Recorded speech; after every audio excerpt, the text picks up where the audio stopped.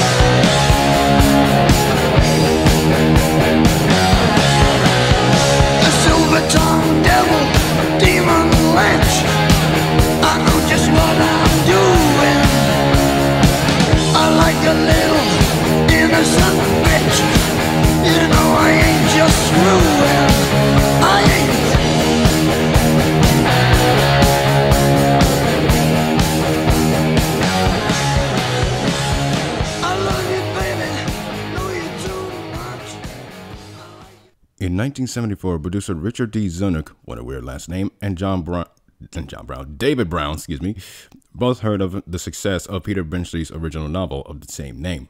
Brown came across the book in a literature section of lifestyle magazine Cosmopolitan. Upon opening it, a small card written by a magazine editor gave, gave the specific details of the story, and with a comment of, quote, might make a good movie. Can't say that didn't motivate him, and he went to do just that. Originally, Zanuck and Brown wanted veteran filmmaker at the time, John Sturge, but after many pleas and convincing, it was, it was decided that Steven Spielberg would direct this project. As for the project itself, Spielberg wanted to stay to the novel story, but he had to remove some subplots from said story. His favorite part of the book was the shark chase and told Zanuck, I'd like to do the picture if I could change the first two acts and base the first two acts on original screenplay material and then be very true to the book for the last third.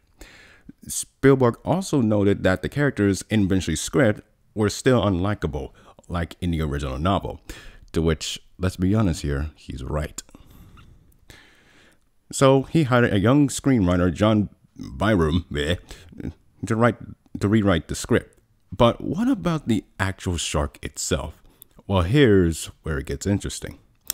So, with a budget of at the time 9 million US dollars, you would think of how to show the shark more frequently, right? Well, that would have happened if it wasn't for that life size mechanical puppet. Many crew members were disgruntled at the fact that a robo shark would be the equivalent of an average everyday laptop. and even going so far as to call it flaws. Ouch. Spielberg attributed it to this and said, I could have shot the movie in the tank or even a protected lake somewhere, but it would not have looked the same. And as for his lack of experience, he said, I was naive about the ocean, basically. I was pretty naive about Mother Nature and hubris of a filmmaker who thinks he can conquer the elements of what was foolhardy.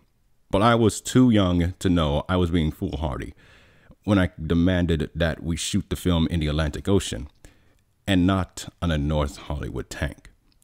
Many, many delays of unwanted sailboats, a boat for the actual movie sinking, cameras getting soaked, and the actual prop shark not working on a daily basis was more hell on, well, literal high waters for the production team. And then, suddenly, a resolution. With the script being redefined during production, Spielberg came to the conclusion that they would have to shoot many scenes so that the beast was hinted at, not shown. Case in point, the floating yelling, yelling, hmm, yeah, yelling yellow barrels. no, the floating yellow barrels. There we go. And Spielberg decided to film the shark without filming the shark. What do I mean by that? He would use an underwater camera in order to show off the shark's point of view.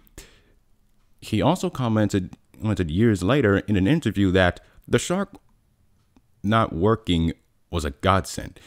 It made me become more like Alfred Hitchcock than like eh, Ray Harryhausen.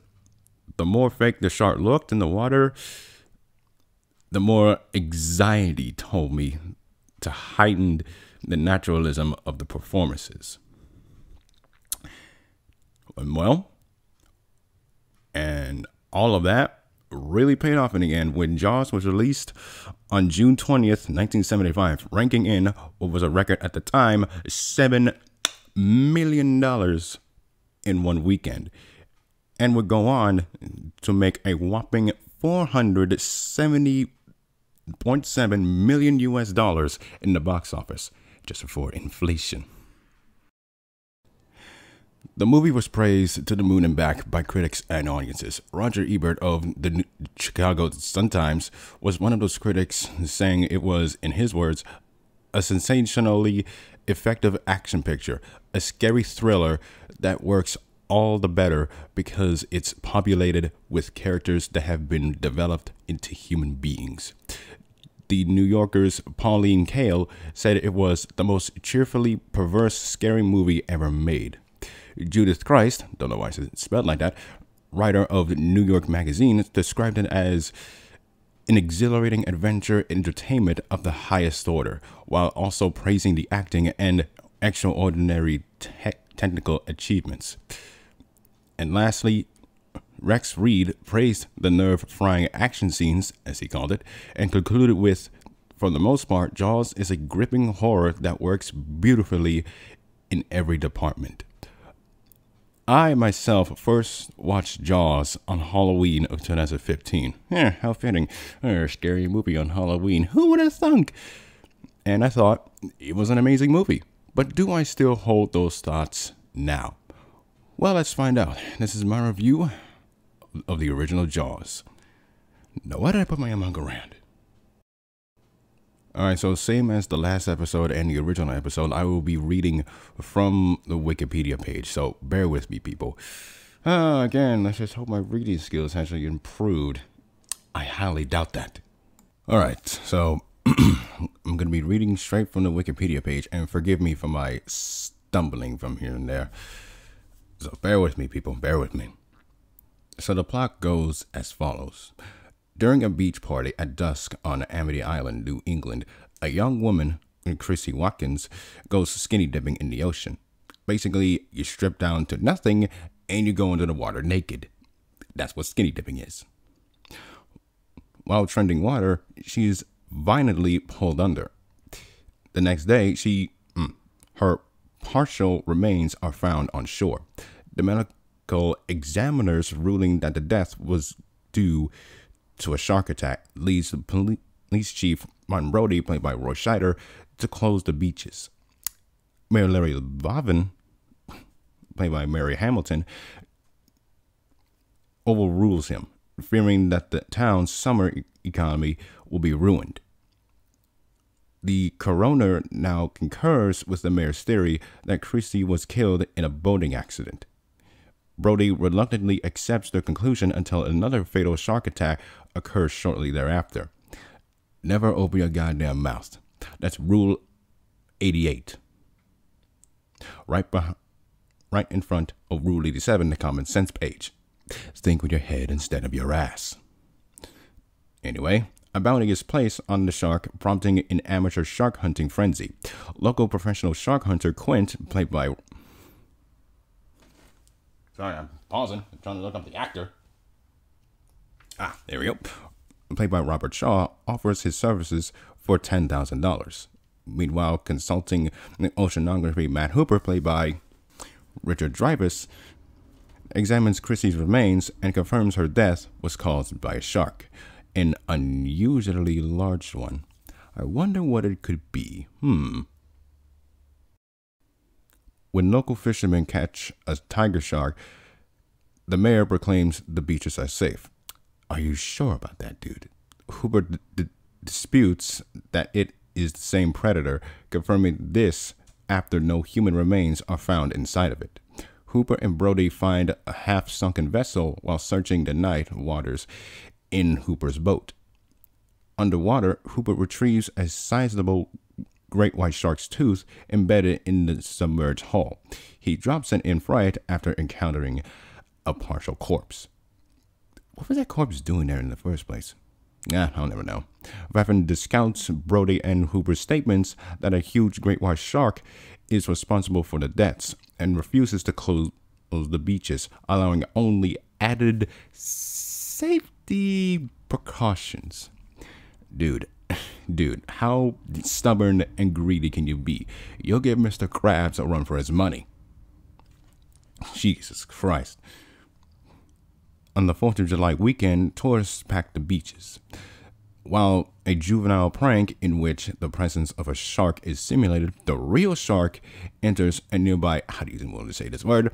Estuary? Ah, whatever. Killing a boater and cause Brody's older son, Michael, to go into shock. Brody then convinces Vaffin, I don't know why it spelled like that, or it said like that, eh, to hire Quint. See, that's all you had to do. All you had to do is see an actual shark, and then all of a sudden you're like, okay, okay, where is that guy? And the only reason he did it is because his children was on the beach and were in the water. Yeah, remember I said it won't bite you in the ass? It kinda did. Quint, Brody, and Hooper set out on Quint's boat, the Orca, I heard that before, to hunt the shark. While Brody lays down a chum line, Quint waits for an opportunity to hook the shark. Without warning, it appears behind the boat. Surprise!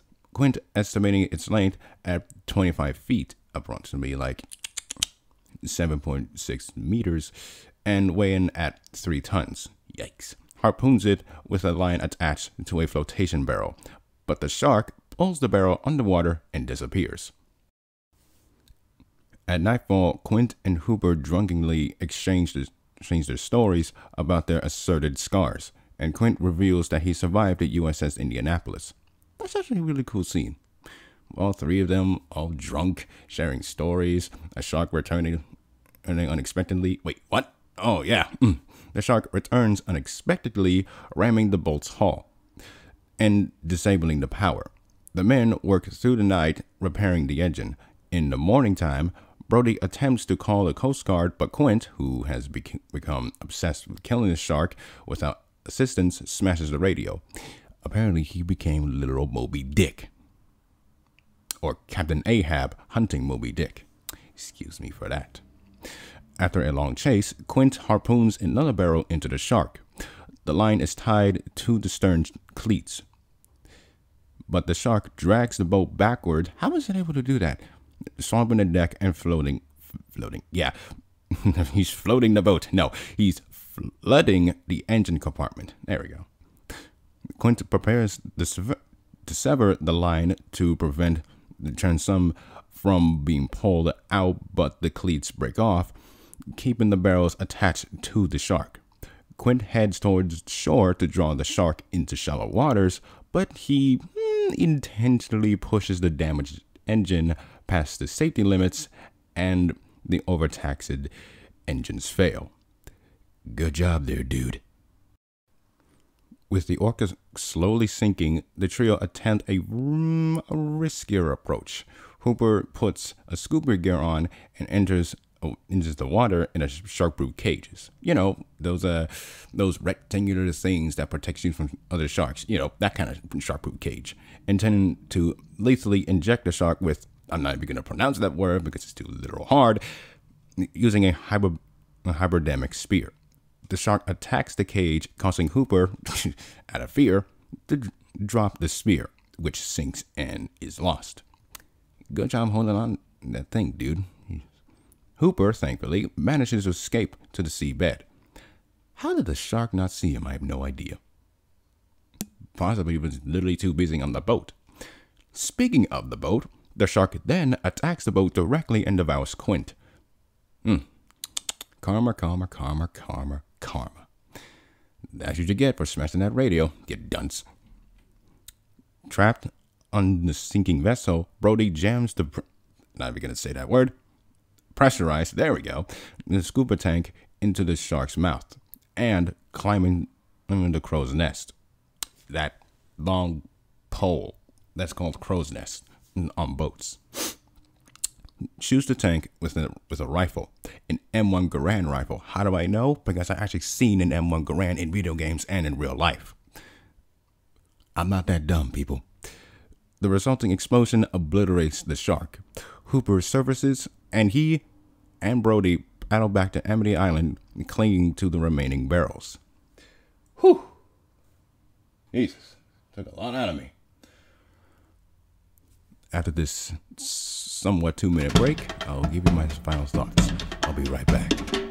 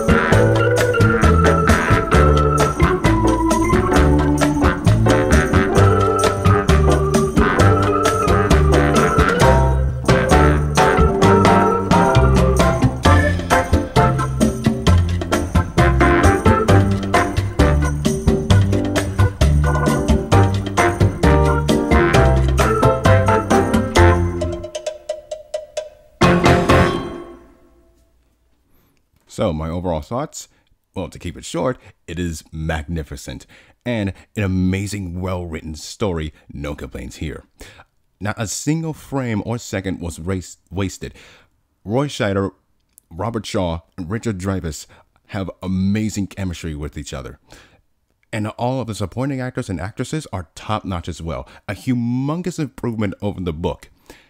Spielberg has stated earlier that I pointed out that the characters in the original novel are so unlikable that, that the reader wishes the characters would die by the shark. And I'm glad he actually changed the characters here. Mm. You are a genius.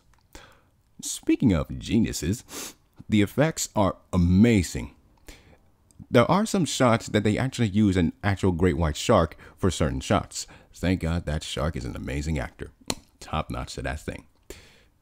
And the way Spielberg toys with my emotions is astounding. And I love the idea that using yellow barrels as a way to see the shark without seeing the shark. Oh my goodness. The music by John Williams. you know, this is a guy who will go on to compose the original Star Wars two years later. And his music in this movie is amazing. My favorite track out of all of them is when the shark is approaching the, the cage underwater. Sadly, I will not play that track because Universal will be up my ass. what the fuck, Universal? Overall, Jaws is a fa- is a fantastic movie. The characters, the direction, the pacing, the effects, and the music are all fantastic. Would I recommend Jaws 1975 to you? Yes, Yes, I would, as I am honored to give this movie a maximum 100 humans on the shark menu out of 100. A must own movie. Now, if you'll excuse me, I'll be going to a coma for nearly drowning to death. Remind me to kick Godzilla in the ass for leaving me in the middle of the ocean. But until then, for more thoughts and First Amendment opinions on movies, games, etc., stay tuned right here on the Brumakian Podcast. Stay tuned and subscribe Brumakian Productions for, for more juicy content. This has been Demetrius signing off. Ah! Ah!